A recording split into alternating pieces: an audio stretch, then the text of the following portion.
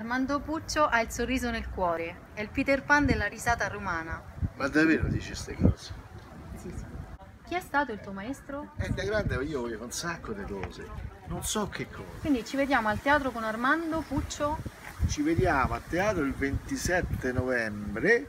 puntuali, Sì. Fino, prenotate. Sì, fino al 3 dicembre. Sì, con improvvisamente.